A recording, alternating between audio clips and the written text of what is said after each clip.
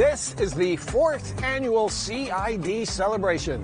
Expect streets to be blocked off, food vendors to be selling tasty treats, and all kinds of entertainment celebrating this very diverse community and its many cultures.